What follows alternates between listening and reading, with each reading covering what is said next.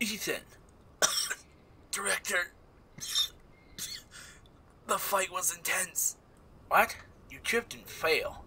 The fight against Safel was dangerous. Safel? I think you mean the fall. Director, before I die, let me tell you one thing.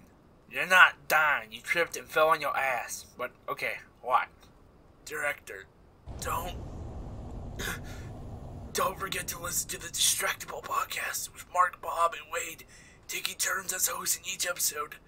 Distractible co- uh, podcast can be found on Spotify, Apple Tunes, and uh, where are you going? Leaving you behind. What? Uh, okay, but don't forget to check out the Distractible. Shut up.